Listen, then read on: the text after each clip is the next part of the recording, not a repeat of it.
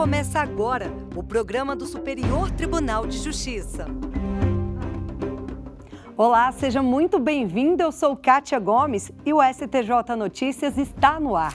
Corte Especial marca o início do ano judiciário no Superior Tribunal de Justiça. Colegiado prorroga por um ano afastamento de magistrados do Tribunal de Justiça da Bahia investigados na Operação Faroeste. Você vai ver também. Terceira turma decide que o preço fixo em estacionamento de shopping não viola direito do consumidor. E mais, o STJ Notícias comemora 300 edições do programa que está no ar há seis anos, na TV Justiça e nas redes sociais. O STJ Notícias começa agora.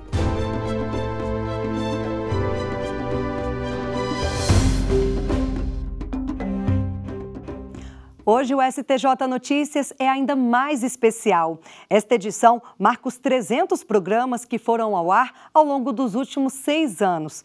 Desde então, o STJ Notícias tem trabalhado para levar ao cidadão informações atuais de decisões que têm impacto direto na vida dos brasileiros.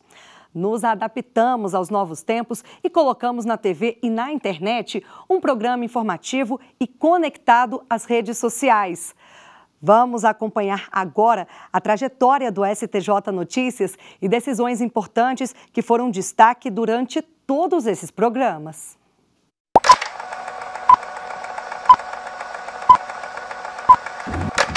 Olá, seja bem-vindo. A partir de hoje você acompanha aqui no STJ Notícias o que é destaque no Superior Tribunal de Justiça. Esse é o primeiro jornal do Judiciário brasileiro feito para a internet e transmitido ao vivo. No dia 7 de fevereiro de 2014, estreou de maneira inovadora o programa STJ Notícias. A interação com os internautas foi um dos destaques do lançamento. O STJ Notícias, comandado por Daniel Adjuto, surgiu com a proposta de levar de maneira mais simples, leve e descomplicada informações do Tribunal da Cidadania. Olha aí, esse post foi sucesso absoluto no nosso Facebook, viu? Foram 900, quase 900 compartilhamentos.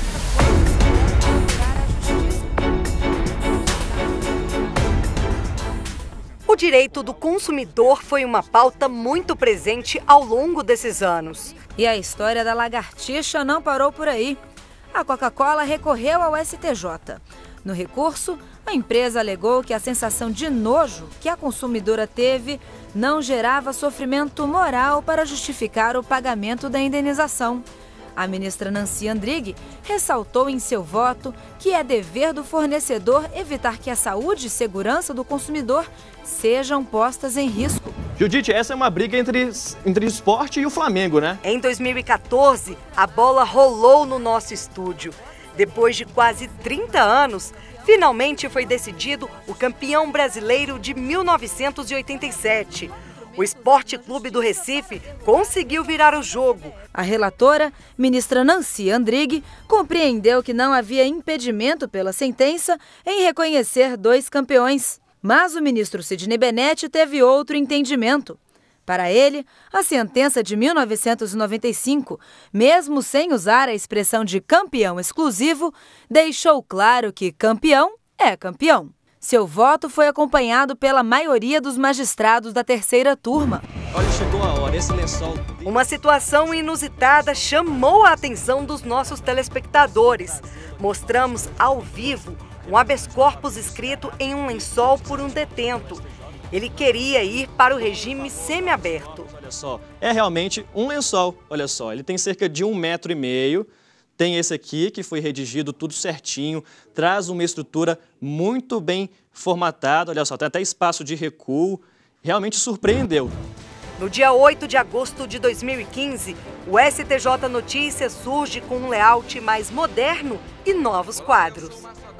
Novos apresentadores, novos repórteres que contribuíram para reforçar o time de profissionais que traduzem o que acontece nas sessões de julgamento das turmas, sessões e corte especial. Especialistas debatem diversos temas que são julgados no tribunal. E aqui no estúdio eu recebo a advogada Maria Cláudia Araújo, que é especialista em direito de família e é ela quem vai responder as questões enviadas para a página do STJ no Facebook e também para o nosso WhatsApp. O canabidiol é um dos 400 compostos da cannabis, planta proibida.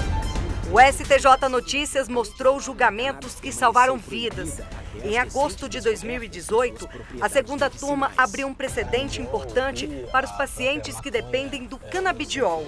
O colegiado permitiu, pela primeira vez, a importação direta da substância para uma criança que sofre de epilepsia. O ministro lembrou que, no caso em análise, o acesso aos fármacos e insumos não é impedido por questões financeiras, mas sim por entraves burocráticos e administrativos que prejudicam a efetividade do direito fundamental à saúde. E decisões que ampararam os mais vulneráveis. O ministro Anef Cordeiro aplicou a tese definida pelo STJ em 2015 no julgamento de um recurso repetitivo, que determina que, para a caracterização do crime de estupro de vulnerável, basta que o agente tenha relação sexual ou pratique ato libidinoso com pessoa menor de 14 anos. Ao longo dos nossos programas, falamos de outros temas importantes analisados pelos ministros do STJ como conflitos em condomínios, planos de saúde, direito à herança e compras online. Nessa relação de consumo existem regras, principalmente em caso de arrependimento. Há três décadas, o Código de Defesa do Consumidor tem sido aplicado em inúmeros julgamentos. O presidente do STJ, ministro Humberto Martins, participou das atividades virtuais promovidas pela Ordem dos Advogados do Brasil em comemoração aos 30 anos do CDC. Dentre as grandes inovações do Código, merece destaque a criação de responsabilidades para o empresário ou prestador de serviço na atuação no mercado de consumo. Em 2020, o mundo foi afetado pela pandemia do novo coronavírus. Para evitar a disseminação da Covid-19, também adotamos o trabalho remoto. Com isso, as gravações do STJ Notícias foram suspensas. Durante esse período, não ficamos parados. Trabalhamos para colocar em prática ideias novas. E voltamos. Adotando todas as medidas de segurança, o programa ganhou cara nova mais informativo, dinâmico e conectado em todas as redes sociais. O Facebook do Superior Tribunal de Justiça traz uma notícia importante. Vamos ver aqui no nosso telão. E destacamos, além das decisões do STJ, o trabalho dos ministros ao aproximar as pessoas do tribunal. É através do diálogo que nos permite avaliar com clareza as demandas de cada cidadã e de cada cidadão brasileiro. Cerca de 30 pessoas já foram recebidas no gabinete da presidência desde o início do projeto. Após os encontros mensais, servidores já foram nomeados, sugestões para melhorias do judiciário foram encaminhadas para os órgãos competentes e a população teve dúvidas de várias naturezas esclarecidas nas reuniões.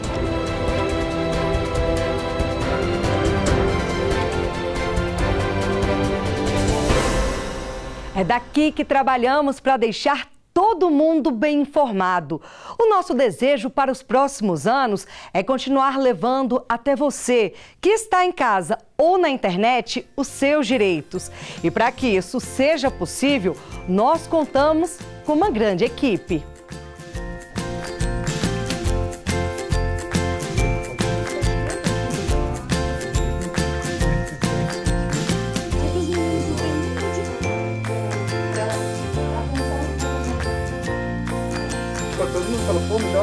Barriga.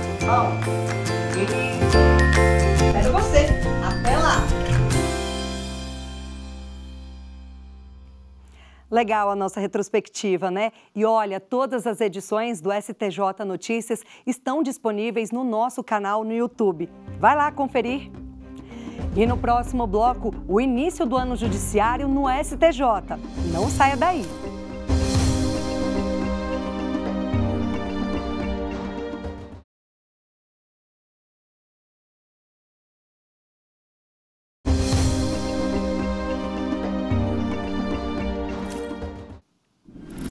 Presidência do tribunal bateu recorde no número de decisões proferidas no plantão judiciário. O presidente da corte, ministro Humberto Martins, e o vice Jorge Mussi dividiram plantão analisando os processos com os pedidos de medidas urgentes, além das matérias de competência da presidência. Após o recesso forense, a Corte Especial marcou o início do ano judiciário no Superior Tribunal de Justiça. Vamos ver como foi a sessão. Composta pelos 15 ministros mais antigos, a sessão da Corte Especial dessa segunda-feira, dia 1 de fevereiro, marcou a abertura do ano judiciário no Superior Tribunal de Justiça. Presidente vice-presidente da Corte, ministros Humberto Martins e Jorge Mussi, e o ministro Luiz Felipe Salomão participaram da sessão presencialmente, os demais de forma virtual. Ao dar boas-vindas aos ministros, o presidente da Corte, ministro Humberto Martins, aproveitou para agradecer a todos do STJ pelo trabalho realizado no plantão judiciário, de 19 de dezembro de 2020 a 31 de janeiro de 2021, quando o presidente e o vice-presidente do tribunal, ministro Jorge Mussi, proferiram 9 mil decisões, um aumento de 12,5% na comparação quanto à quantidade analisada no último plantão, de 8.002 decisões. O nosso tribunal tem se destacado como um dos mais produtivos do mundo e avança com eficiência, com celeridade, com qualidade, com produtividade, mas, sobretudo, com muito bom senso e muita responsabilidade em favor de um judiciário viável e cada vez mais acreditado pela população brasileira. O Procurador-Geral da República, Augusto Aras, também acompanhou a sessão virtual e falou sobre o papel do Ministério Público e a importância do STJ na retomada pós-pandemia. O alvo do Ministério Público é dar resolutividade a esse grave problema de saúde pública.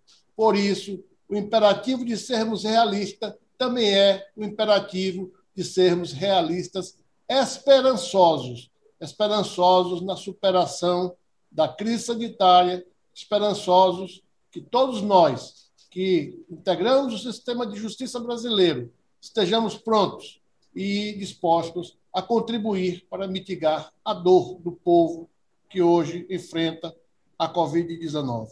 O ministro Humberto Martins afirmou que, além dos números de produtividade, a Corte vai empenhar esforços para garantir voz a todos que se relacionam com a instituição. Seguiremos enfrentando temas polêmicos, complexos e de grande impacto político, social, econômico e cultural. Nós somos a Corte infraconstitucional, mas sempre manteremos o compromisso de uma prestação jurisdicional célere, efetiva, de qualidade produtiva, este ano, a Corte Especial do STJ ganhou um novo membro. O ministro Paulo de Tarso Sanseverino passou a integrar permanentemente a Corte Especial, com a aposentadoria do ministro Napoleão Nunes Maia Filho no final do ano passado. Logo depois da abertura oficial do ano judiciário no STJ, os ministros deram início aos julgamentos. Eles voltam a se reunir na próxima quarta-feira. O calendário do primeiro semestre prevê julgamentos importantes pela Corte Especial, como a continuidade da análise dos recursos contra a decisão que autorizou a Prefeitura do Rio de Janeiro a retomar a administração da linha amarela e a denúncia contra o governador do estado do Rio de Janeiro, Wilson Witzel, contra o presidente do PSC, Pastor Everaldo, e outros integrantes acusados de integrar suposta organização criminosa para desviar recursos da saúde. Com o início do ano judiciário, os prazos processuais voltaram a correr e os órgãos julgadores do STJ retomaram os trabalhos. Vamos ver algumas decisões de destaque da semana. Por unanimidade, a Corte Especial prorrogou por um ano o afastamento de magistrados do Tribunal de Justiça da Bahia investigados na Operação Faroeste. Em sessão realizada por videoconferência, os ministros da Corte Especial, por unanimidade, prorrogaram o afastamento de quatro desembargadores e dois juízes do Tribunal de Justiça da Bahia que foram investigados no âmbito da Operação Faroeste. A investigação apura atos de uma suposta organização criminosa composta por advogados e servidores do Tribunal de Justiça baiano que intermediavam a venda de decisões judiciais por desembargadores e juízes para favorecer a grilagem de terras no oeste da Bahia. O relator da ação, ministro Og Fernandes, votou no sentido de que a prorrogação do afastamento é justificada, porque, embora as investigações estejam avançando, ainda não é possível afirmar que a apuração dos fatos foi concluída. O ministro lembrou que, além da ação penal em questão, outras cinco denúncias criminais foram oferecidas pelo Ministério Público Federal ao STJ com o desdobramento das investigações. Og Fernandes disse ainda que os acordos de colaboração premiada firmados até o momento resultaram em diversos novos inquéritos e que estes podem se tornar no futuro outras ações penais. Com a decisão da Corte Especial, os magistrados permanecem afastados até fevereiro de 2022. Na terceira turma, os ministros condenaram um advogado que entrou com embargos fora do prazo a indenizar o cliente. Por ter perdido o prazo para a apresentação de embargos monitórios, a terceira turma do STJ manteve acordo do Tribunal de Justiça de São Paulo, que condenou um advogado a indenizar em cerca de 7 mil reais uma cliente. A decisão foi tomada com base na teoria da perda de uma chance. Este juiz de direito explica o que significa esse conceito jurídico. Em linhas gerais, a perda de uma chance é indenizável quando existe, é, é, quando, quando se afasta uma fundada expectativa ou uma probabilidade favorável ao lesado, é, em linhas gerais. Né? Aquele, o exemplo daquele maratonista que estava no, no, vencendo a corrida, né? e um sujeito pega ele, segura, impede que ele ganhe, né? não se saberia se ele iria ganhar. Ele, em tese, perdeu a chance de. No Tribunal de Justiça de São Paulo, o entendimento foi de que a aplicação da teoria da perda de uma chance se justifica em razão dos danos sofridos pela cliente após a negligência do advogado. Segundo o tribunal, caso os embargos monitórios fossem apresentados no prazo correto, a cliente poderia ter algum proveito com o julgamento. A decisão foi questionada pelo advogado que entrou com recurso especial no STJ. Ele alegou que houve julgamento fora do pedido, que as instâncias ordinárias não poderiam acolher a tese de responsabilização por perda de uma chance sem o requerimento expresso da cliente na petição inicial. O relator do recurso, ministro Vilas Boas Cueva, explicou que, embora a autora da ação não tenha apontado expressamente a perda de uma chance, a situação narrada por ela levou o juiz a considerar que o dano decorreu de um problema que poderia ter sido evitado se o advogado tivesse sido diligente em sua atuação. No voto, o ministro declarou ainda que, sendo pleiteada a indenização por perdas e danos em geral, o juiz pode reconhecer a aplicação da teoria da perda de uma chance sem que isso implique julgamento fora dos pedidos do autor. Em outra ação, a terceira turma decidiu que o preço fixo em estacionamento de shopping não viola direito do consumidor. A ação foi movida pela Defensoria Pública de Sergipe, que questionou a política de dois shoppings de Aracaju de cobrar um preço fixo pela utilização dos estacionamentos no período entre 20 minutos e 4 horas, independentemente do tempo efetivo de permanência. Para a Defensoria, o valor cobrado dos consumidores que usam o serviço por tempo menor do que o máximo estabelecido seria desproporcional e caracterizaria exigência excessiva, violando o Código de Defesa do Consumidor. O juiz de primeiro grau entendeu que houve abuso apenas em relação à primeira hora de permanência no estacionamento. Por isso, julgou parcialmente procedente a ação para determinar que os shoppings passassem a cobrar na primeira hora uma fração do preço anteriormente fixado. A sentença foi mantida pelo Tribunal de Justiça de Sergipe. De acordo com o TJ, a liberdade das empresas para definir os preços do estacionamento não impede o judiciário de apreciar eventual ao abuso na fórmula adotada. Mas no STJ, o relator do recurso das empresas, ministro Marco Aurélio Belize, afirmou, entre outras coisas, que a regulação dos preços praticados pelo empreendedor se dá pelo próprio mercado e que a remuneração pelo serviço de estacionamento, em tese, não leva em consideração apenas o tempo de ocupação da vaga pelo veículo, especialmente porque a atividade envolve custos como seguro, aparatos de segurança, tecnologia e impostos. Para os ministros, a adoção de preço fixo para a utilização de estacionamento privado em shopping center, ainda que o usuário não permaneça todo o tempo permitido, não configura prática comercial abusiva e está inserida na livre iniciativa, não havendo conflito entre essa política de remuneração do serviço e os direitos dos consumidores. Com isso, por maioria de votos, a terceira turma reformou o acórdão do Tribunal de Justiça de Sergipe e julgou improcedente a ação civil pública. E na quarta turma, o colegiado entendeu que a violação de direitos individuais homogêneos, reconhecida em ação civil pública, não gera dano moral coletivo. De acordo com o processo analisado pelo colegiado, uma rede varejista disponibilizou aos clientes o prazo de sete dias úteis a contar da emissão da nota fiscal para troca de produto com defeito. Mas para o Ministério Público do Rio de Janeiro, o prazo é abusivo, por ser diferente do que é previsto no Código de Defesa do Consumidor, e por isso ajuizou uma ação civil pública pleiteando o pagamento de danos morais coletivos. As duas primeiras instâncias reconheceram a lesão ao direito dos consumidores e foi determinado que a rede varejista se adequasse à legislação sob pena de multa. Ficou estabelecido ainda o pagamento de indenização por danos materiais e morais individuais aos consumidores lesados, mediante apuração e liquidação de sentença. Mas o pedido em relação aos danos morais coletivos foi negado, com fundamento de que não houve violação aos valores coletivos dos consumidores em geral. O Ministério Público do Rio de Janeiro recorreu então ao STJ. No recurso foi sustentado que a configuração dos danos coletivos seria uma importante forma de impedir que futuramente essa ou outras empresas lesassem os consumidores.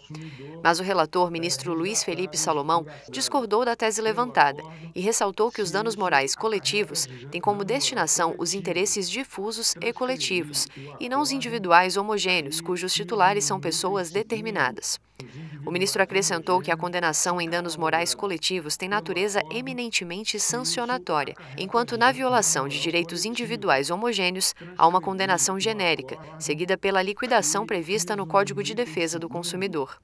A quarta turma seguiu o voto do relator e entendeu que a violação de direitos individuais homogêneos não é causa para indenização por dano moral coletivo.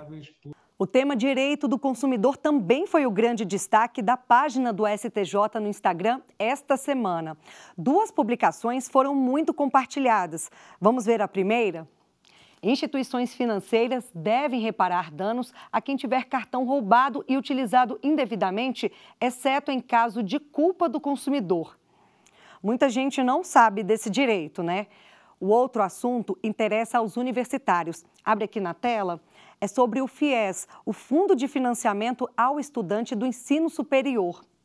As regras do Código de Defesa do Consumidor não podem ser aplicadas em contratos do Programa de Financiamento Estudantil. Vamos entender por quê?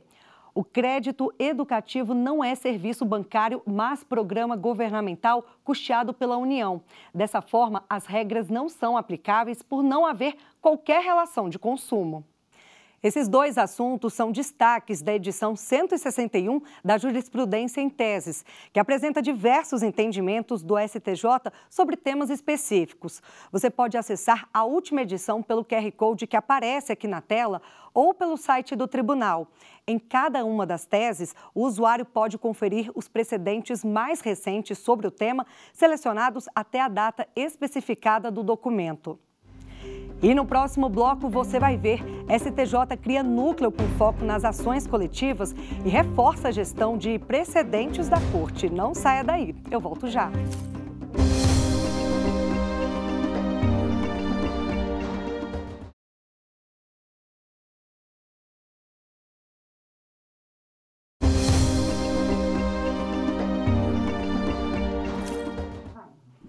Olha só essa iniciativa. O Superior Tribunal de Justiça reuniu os serviços e sistemas mais utilizados pelos operadores do direito em uma página intuitiva disponível no site. Um vídeo tutorial produzido pela Coordenadoria de TV e Rádio do Tribunal explica como funciona a nova página, detalhando as funcionalidades do sistema e respondendo às dúvidas mais frequentes dos usuários. Para assistir o vídeo, é só acessar a nossa página no YouTube. O Tribunal da Cidadania está reforçando a gestão de precedentes existente na Corte com a criação do Núcleo de Ações Coletivas, o NAC. Quem tem as informações é a repórter Marina Campos. Quando um determinado grupo de pessoas percebe que seus direitos foram desrespeitados ou ameaçados, é possível entrar na justiça e isso pode ser feito em um único processo. É a chamada ação coletiva. O julgamento de um único caso pode afetar milhões de pessoas ou uma categoria inteira de profissionais. Nesse caso, não existe um único titular de direito, fugindo um pouco da habitualidade dos processos judiciais, em que a parte A pleiteia seu direito contra a parte B. Então, na ação coletiva, você não precisa especificar exatamente quem é aquele titular de direito, porque estão sendo tratados a respeito de grupos, de um grupo ou grupos de pessoas que estão vinculadas pelo mesmo direito transindividual. Para organizar as informações sobre os processos coletivos e evitar, por exemplo, que novas ações individuais com temas semelhantes sejam ajuizadas na Justiça, os tribunais de todo o país estão criando núcleos para monitoramento das ações coletivas. Em cumprimento a uma resolução do Conselho Nacional de Justiça, o STJ também já instituiu um núcleo para tratar dessas ações e que agora passa a integrar a estrutura do Núcleo de Gerenciamento de Precedentes. Segundo a assessora substituta do núcleo, essa nova forma de gestão dará mais eficácia a essas ações que até agora vinham sendo julgadas sem que os tribunais tivessem como monitorar os temas ou delimitar os titulares dos direitos em discussão. A partir da sistematização, a gente conseguir monitorar o trâmite dessas ações e, com isso, a gente poder é, dar essas informações na nossa página de uma forma que se torne acessível e ao jurisdicionado. É muito importante, porque com essa sistematização a gente consegue, consegue é, viabilizar a gestão do, dos acervos dentro do tribunal e também auxilia não só o Ministério Público, as defensorias e os próprios magistrados na, na celeridade do julgamento e na conciliação. Os núcleos também viabilizarão o funcionamento do Cadastro Nacional de Ações Coletivas, instituído pelo CNJ e pelo Conselho Nacional do Ministério Público. A gente vai consolidar essas informações dentro do, do GEPNAC e é, enviar essas informações para o, o, o CNJ, compilando dentro do Cadastro Nacional e, e, isso permite que a gente tenha acesso a todas as, as, ações coletivas que vão tramitar, por exemplo, no país. A comissão gestora de precedentes do STJ, integrada pelos ministros Paulo de Tarso Sanseverino, a Suzete Magalhães, Rogério Schietti Cruz e Moura Ribeiro, ficará responsável pela gestão do Núcleo de Ações Coletivas e passará a se chamar Comissão Gestora de Precedentes e de Ações Coletivas. Então é isso. O nosso programa chegou ao fim que venham mais 300 edições. A gente volta semana que vem com muita informação sobre tudo o que acontece aqui no Tribunal da Cidadania. E como você viu ao longo do nosso programa, nós também estamos nas redes sociais: Twitter, Facebook, Instagram. Segue a gente, curta e compartilha. Eu agradeço a companhia e até o próximo programa. Tchau, tchau!